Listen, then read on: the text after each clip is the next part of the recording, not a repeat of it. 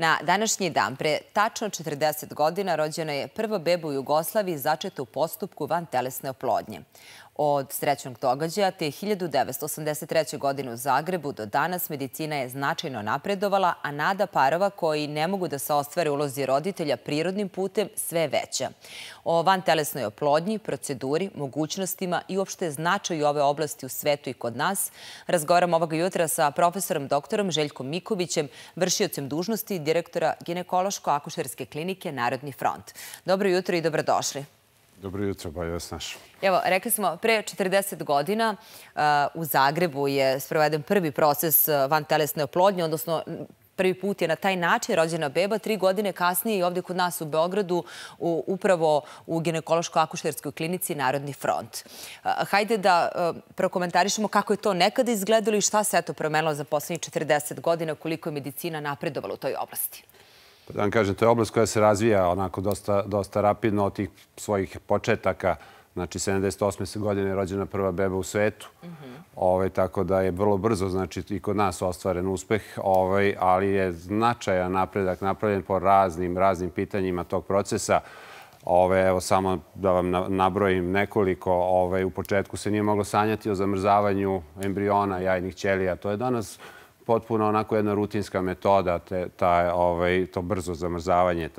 Onda, recimo, nije postojala mogućnost ni tada da se van telesnom oplodnjom reši problem lošeg spermograma. Sada raspolažemo tom intercitoplazmatskom injekcijom spermatozoida koja rešava problem praktično svih ovaj, muškaraca koji imaju loše parametre spermograma. Zatim sad možemo i genetski da proverimo taj embrion pre vraćanja u matericu, da li je genetski ispravan, da li je zdrav. Ovaj, također danas se gaje embrioni do blastociste. Ranije su se vraćali tek sa nekoliko prvih ćelija. Mnogo je bolji uspeh sa vraćanjem blastociste.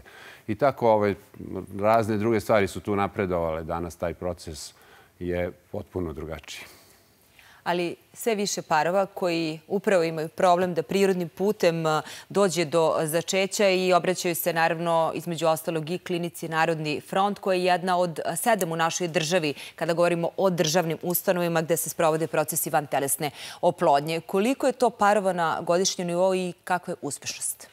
Narodni front povećava taj broj iz godine u godinu. Prošle godine smo imali 760 stimulisanih ciklusa, znači postupaka i stimulisanih ciklusa i imali smo oko 100 tih krioembriotransfera, znači vraćenih zamrznutih pa odmrznutih embriona. Ove godine mislim da ćemo imati nešto veći broj. Imamo recimo 2500 komisija, to su znači ti parovi koji dođu na ovaj, taj medicinski pregled pre nego što uđu u postupak. Tako da od ove godine, od početka ove godine imamo i donirane ove gamete, odnosno jajne ćelije i spermatozoide. Do sad smo uradili 42 ovaj, pa, para, odnosno postupka sa doniranim jajnim ćelijama i spermatozoidima i imamo 20 trunoća već. Bebe su neke već rođene, neke su na putu. I e, znamo da u kliniku Narodni front e, dolaze parovi iz čitave zemlje, dakle e, ne samo iz Beograda. Sa kakvim se pre svega problemima oni suočavaju i zašto iz ugla medicine sve više ljudi ima problem sa začećem?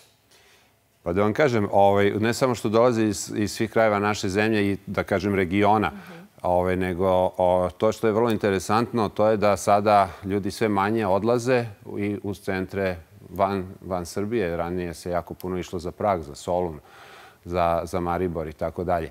Ovaj, sada, naprotiv, sada mnogi od tih parova koji tamo nisu uspeli dođu kod nas i ovaj, uspeju da ostvare. A zašto se odlazilo? Da li su te klinike imale bolje uslove, inovativnije metode? Pa tada jesu možda. Danas više ne. Zaista ne. Mi danas raspolažemo svom potrebnom opremom. Mislim, tu stvarno moramo se zahvalimo i državi i zajednici koja nam je pomaže. Stalno se obnavlja oprema, stalno se kupuje najsavremenije, najkvalitetnije. Ove godine smo dobili taj neki takozvan invertni mikroskop sa mikromanipulatorom, pa smo ovaj, nabavili također najsavremeniju opremu za zamrzavanje, pa sada se nadamo da ćemo od ministarstva da će nam ministarstvo pomoći još da nabavimo neke komore dualne.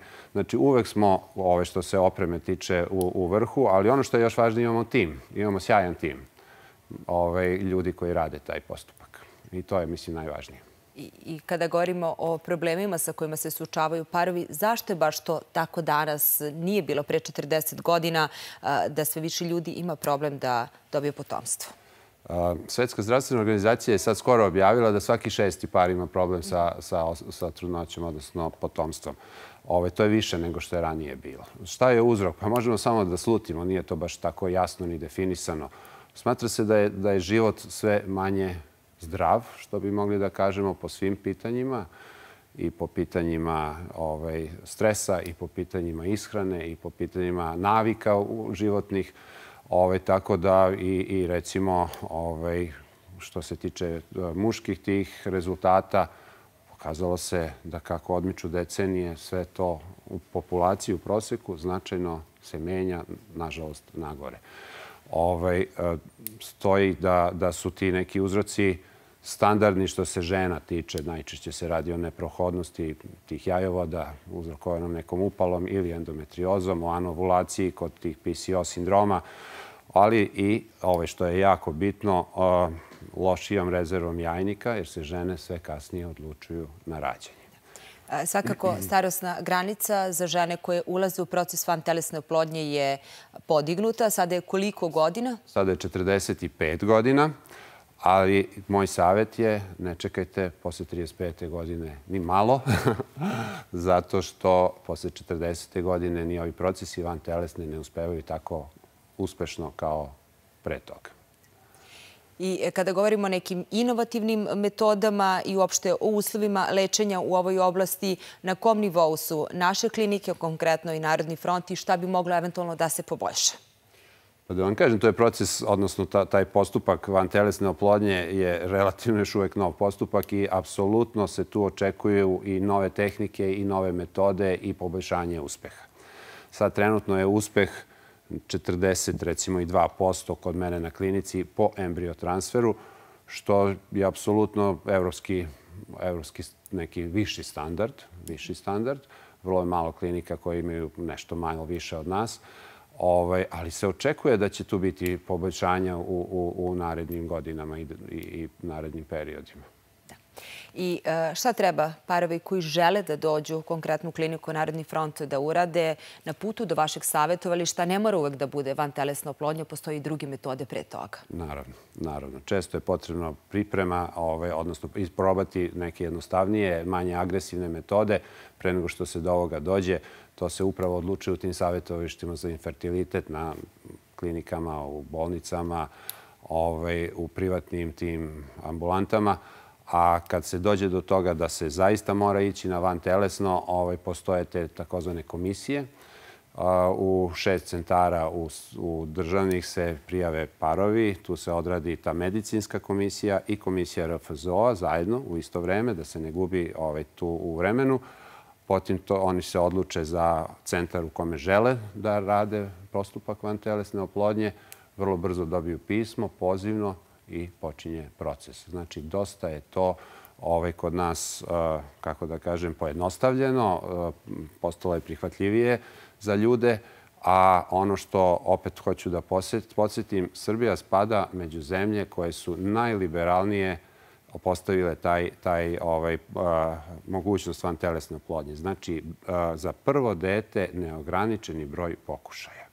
O trošku države. O trošku države. I stimulacije i ovaj, zamrzavanja i tih kriotransfera kod parova koji imaju decu, znači nešto malo manje, ali vrlo kvalitetno također, tri stimulacije, neograničeno zamrzavanje i ovaj, tri e, kriotransfera. Isto važi i za muške ove slučajeve infertiliteta.